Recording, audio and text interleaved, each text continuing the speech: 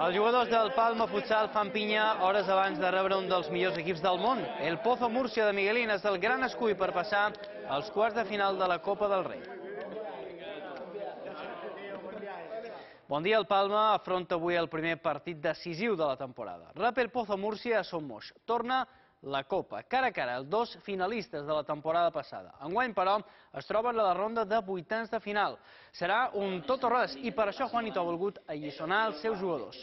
Avui de matí ha tocat classe magistral. L'equip sap que haurà de fregar la perfecció si vol eliminar els murcians. Avui diuen, més compartites, una final. Es una final, las finales son calientes, será un, un partido muy difícil, creo que será un partido muy competido y eso pues seguramente provocará que sea un partido tenso porque hay mucho en juego. Al final, aunque sea un partido de octavos de final, es un partido donde los dos equipos al final nos jugamos mucho y seguro, seguro que va a ser un partido divertido. Són les paraules del director esportiu del Palma Futsal o el cas el mateix de l'arquitecte que ha dissenyat aquest equip. Així veu José Tirado el partit de Copa del Rei d'avui vespre contra el Pozo Múrcia. Som Moja es prepara per viure avui vespre un altre partit que pot passar a la història, perquè mai fins ara el Palma Futsal ha guanyat el Pozo Múrcia dins aquest pavelló. En todos los años que llevamos en primera división todavía no se ha ganado al Pozo en Palma, ¿no? Eh, es una asignatura pendiente. Tampoco habíamos ganado al Barça nunca en casa y se ganó el partido más, más decisivo que fue el año pasado. Eh, un día tiene que llegar y esperemos que sea esta noche que, que podamos ganar a, al Pozo, da igual como sea, aunque sean los penaltis. Perquè els de Juanito pensen que encara és massa prest per dir adeu al somni de la Copa. Volen passar de ronda, costi el que costi. Yo creo que el equipo está muy mentalizado y sabemos que si jugamos un partido al 120%, pues tendremos nuestras opciones, ¿no? I si qualque cosa ha demostrat aquest equip és que és capaç de tot. Yo siempre lo digo, yo creo que el Palma Futsal tiene un ADN diferente, intentamos trabajar y crear esa filosofía de un equipo diferente, un equipo con una filosofía ganadora, competitiva, de compromiso, de, de tener esa pasión que, que a lo mejor otros no tienen. Com diu el director esportiu, aquest és un dels secrets de l'èxit d'un Palma Futsal que no es conforma amb poc. Si no ganamos este partido de esta noche, pues estaremos un poco desilusionados, más por el exceso de ganas e ilusión que tenemos siendo el finalista del año pasado, pero somos conscientes de, de, la dificultad y estamos jugando contra uno de los mejores equipos del mundo y el campeón del año pasado. Una pena que nos haya tocado este rival en octavos de final. Així de capritxós va ser el sorteig. Ara toca seguir fent camí per poder arribar a una altra final de la Copa del Rei. De ganes, a l'equip no n'hi falten. Un, dos, tres, i en aquest vuitens de final ja eh, ens ha deixat eh, dues sorpreses i a més importants. El Barça i l'Inter Movistar han estat eliminats. El Blaugrana van encaure contra el Llevant per 5 gols a 4 i l'Inter va perdre davant el Catgas de Santa Coloma. El proper rival del Palma, la Lliga, va guanyar l'Inter per 4 a 2. El Catgas passa a quart de final després d'eliminar un dels grans favorits al títol. Divendres, l'equip català arribarà amb la moral alta a Somos.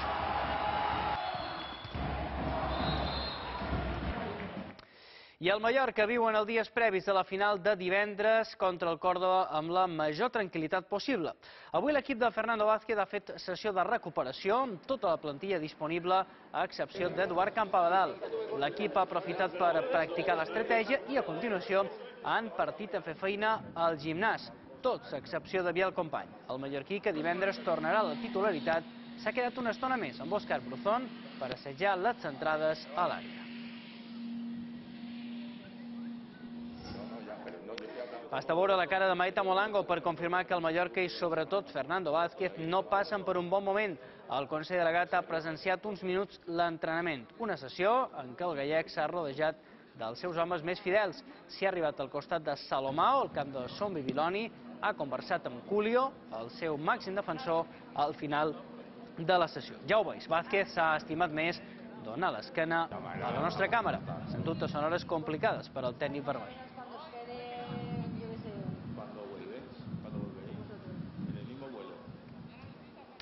El Mallorca arriba al partit de divendres amb la necessitat de guanyar per no tornar a posicions de descens. I el Córdoba de José Luis Oltra també ha de guanyar després de sis jornades sense fer-ho.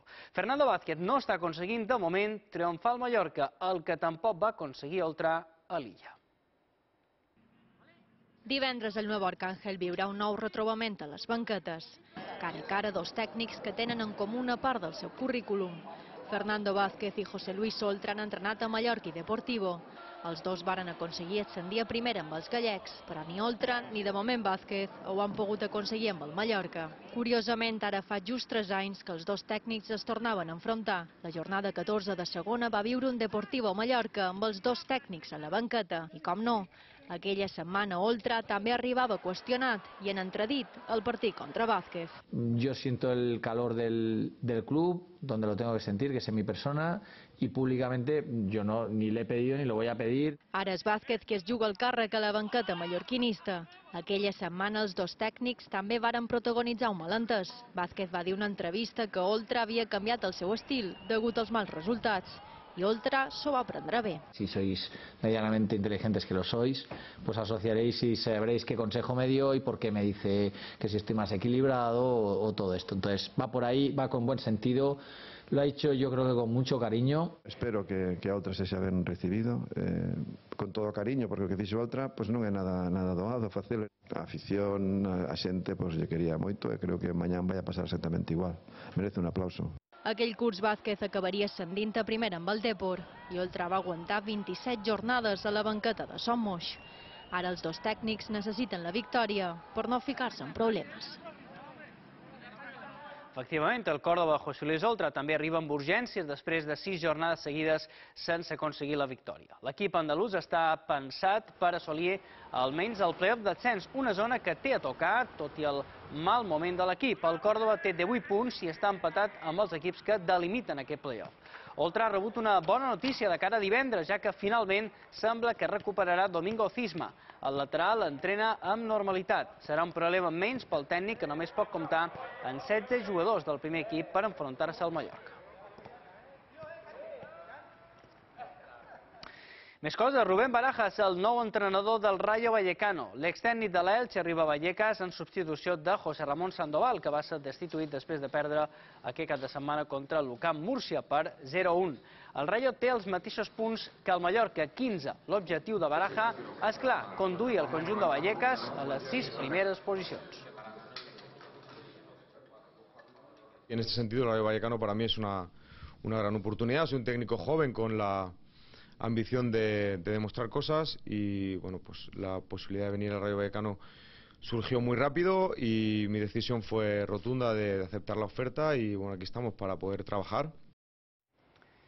La selecció espanyola prepara el partit de dissabte contra Macedònia amb l'objectiu d'aconseguir 3 punts valuosos de cara a la classificació per al Mundial de Rússia 2018. Julen Lopetegui té baixes significatives per lesió, com les de Ramos o Gerard Piqué, Iniesta o Jordi Alba. Per contra, l'exmallorquinista Aritza Duriz és una de les novetats d'una llista on debuta el lateral del Sevilla, Sergio Escudero. I a tot això, Marco Asensio serà líder de la selecció espanyola sub-21 en el partit que disputarà divendres contra Àustria. El combinat que dirigeix Albert Celades està obligat a guanyar la selecció austríaca a doble partit si vol assegurar-se la presència a l'Eurocopa de Polònia 2017. Després de quedar segons de grup, ara la sub-21 del mallorquí Asensio té dos partits per decidir el seu futur, aquest divendres i el pròxim 15 de novembre a Àustria. I Joaquín Caparrós ha dirigit avui de matí el seu primer entrenament amb Osasuna. El tècnic sevillà és el nou responsable tècnic del conjunt navarrès després de la destitució dilluns d'Enrique Martín Monreal. Caparrós ha firmat pel que queda de temporada i dues més. L'ex del Mallorca tindrà temps per preparar el seu debut amb el conjunt vermell. Amb l'aturada de seleccions no serà fins al dilluns 21 al camp del Leganés. Caparrós va ser presentat ahir vespre a l'estadi del Sadar i ara, ho veureu, el preparador d'Utrera va tirar del seu manual. Han fet un exercici retrospectiu, han cercat anteriors presentacions seves i les han comparat amb la d'Ossassuna. Proveu de trobar set diferències. Certament és ben mal de fer. Ja pot aterrar al Mallorca, al Granada, l'Atlètic Club de Bilbao o bé a Osasuna. El llibre d'estil de Joaquín de Jesús Caparrós Camino és inalterable. Capítol 1. El club i la seva gent són especials. y es cierto que me hace muchísima ilusión venir a Osasuna, venir a Pamplona, venir a un club con un ADN muy especial. Siempre el Atleti ha sido un club especial, por lo tanto os puedo garantizar que me hierve la sangre rojiblanca. ¡Upa el Atleti! Me encanta Mallorca, he estado, he estado con toda mi familia. Eh. Capítol 2. Dedicació i passió absolutes.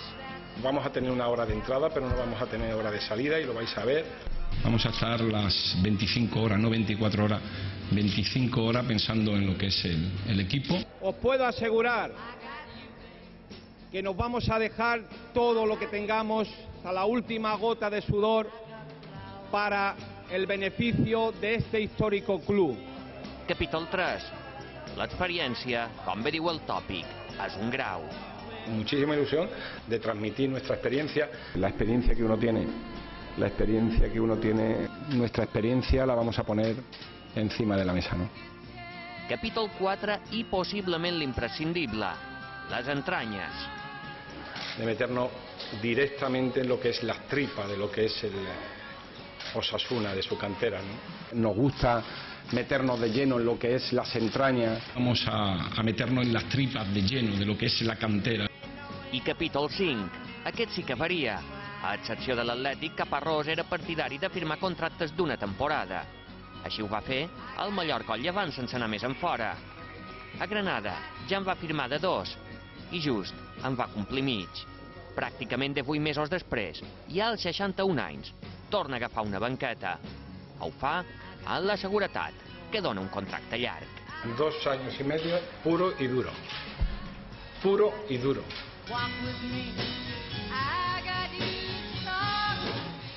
Joaquín Caparrós, fidel sempre al, al seu discurs. Més coses. Alberto Gorriz ha tornat a fitxar per la Societat Esportiva Formentera. El davanter basc, que va jugar dues temporades a l'illa, va iniciar aquesta temporada al Terrassa de la tercera divisió catalana. Va sorgir la possibilitat de tornar a l'equip i no s'ho ha pensat dues vegades. Hem passat el dematí amb ell per veure com afronta el retorn al club formenterer. Alberto Gorriz ha tornat a casa. Llevo aquí cinco días y me he vuelto a sentir lo querido que me sentí estos dos años. Va arrencar la temporada actual amb el Terrassa de la tercera divisió catalana, però no va tenir sort. Estaba mal por un tema personal que no, no conseguía adaptarme. Per això, quan va sortir la possibilitat de tornar a la Societat Deportiva Formentera, No lo dudé ni, ni, ni un minuto, vamos. l'aportació de Gorriz a l'equip que ara dirigeix Tito García San Juan passa pel gol. En les dues temporades que va jugar a l'illa, el davanter basc va marcar 31 dianes. Per això, el míster celebra la seva arribada. En cuanto se dio la posibilidad no pensamos en nadie más. Fue Alberto la primera opción. Sabemos que nos va a aportar mucho en, en muchos sentidos. Es un chico que se deja el alma en cada partido y eso es muy importante. Eh, y luego ofensivamente es una variante más que nos da soluciones. ¿no? S'ha trobat un equip ple de cares noves. Sap que la competència en la punta d'atac serà dura. Mm, A Juan ya lo conocía de una semana que estuvo aquí en el playoff viéndonos y no lo había visto jugar, pero lo vi en Tudela por la tele y un espectáculo. Y Gabri lo vi el otro día en directo y, y me encantó, la verdad. El passat diumenge ja va poder tenir els primers minuts amb l'equip en la victòria davant el líder, el Poblense, i l'afició li va fer una gran ovació. El aplauso que me lleve de la gente y el cariño que me lleve para mí es lo más importante. Ara mateix el Formentera és segon classificat a la Lliga i amb una eliminatòria històrica en la Copa del Rei on s'enfrontaran contra tot un poderós Sevilla. Eso es una cosa que se vive una vez en la vida, ¿no? Els aficionats al futbol i els ciutadans de Formentera en general han rebut amb molta alegria la seva tornada. Hombre, un orgull que tornem a comptar amb ell a l'equip. Bueno, és una bona notícia.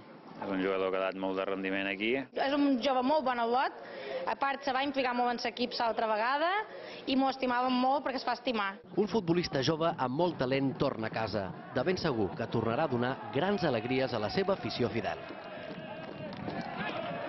I en bàsquet, a l'Aleport, derrota dolorosa més del Palmer Europa contra l'Ourense. El de Xavi Sastre varen caure la pròrroga per 96 a 107 després de tenir el partit gairebé guanyat. Mos han tirat dos triples. Si hagués tingut una pistola hagués fotut un tir a qualcú. Aquí és on el Palma Europa va perdre un partit que tenia guanyat. 11 segons pel final, els mallorquins guanyen de 3 i Mitrovic fa un triple que força la pròrroga, 83 a 83. És increïble. És que és increïble. Increïble que mos hagin pogut tirar dos tirs se, després de dos minuts comentant lo de la falta. És increïble. El Palma i Europa va llançar al FEMS un partit que tenia la butxaca i que havia capgirat després de remar contracorrent. Dos primers quarts desastrosos obrien una escletxa d'11 punts per l'Ourense al descans. Després del pas per vestuari, però, hi va haver reacció del Palma. Vivià, Fornàs i un gran Montfort signaren un parcial de 13-0, 66-66 al final del tercer període. L'esforç de l'equip ha estat, ha estat increïble, demostra molta, molta raça amb això, eh? perquè no, no, no baixam els braços mai. L'esforç dels mallorquins, però, va quedar dilapidat. Montfort va tenir el triple de la victòria, però no va poder evitar una pròrroga que va ser de l'Ourense. 24 punts als gallecs sentenciaren el Palma i l'Europa, 95 a 107. Estic més emprenyat que una mona, perquè ho tenien guanyat. El deport és així, si no controles hasta, hasta l'últim minut, hasta l'últim segon de xoc, pues, bueno, te, poden, te poden remuntar i te poden guanyar. Segur que si seguim així, eh, pues, pues les coses sortiran millor. Amb quatre derrotes i quatre victòries, el Palma i l'Europa és fora del play-off. Diumenge visita la pista del Calzado Robusta a Logroño. I més bàsquet perquè avui hem volgut conèixer de ben a prop el projecte del Made in Menorca. L'equip de Sant Lluís, que milita la Lliga EVA, ha aconseguit engrescar de nou a l'illa amb un gran inici de curs.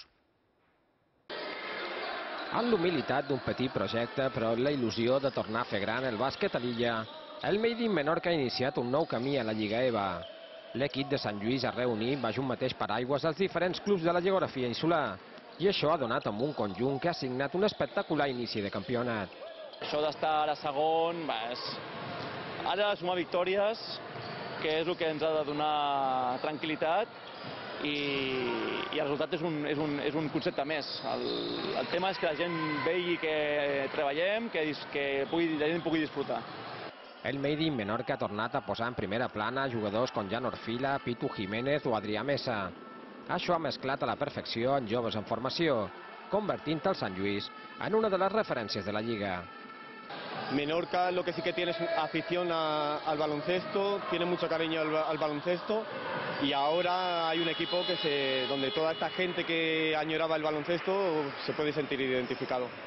L'objectiu del club és consolidar el projecte, guanyar adeptes i mantenir la categoria. En tot, no renuncien a donar una passa endavant. Si hem de pujar, doncs pujarem, vull dir, encantats de la vida, no? Vull dir que no és l'objectiu principal, però sí que eh, il·lusiona jugar amb un nivell alt. Menorca tenim a la retina tots el que s'havia jugat aquí amb ACB, amb l'EPS, amb EVAs a la vegada, i doncs, doncs, bueno, hi ha molta gent que té moltes ganes de bàsquet. Sigui com sigui, la passió pel bàsquet ha tornat a Menorca.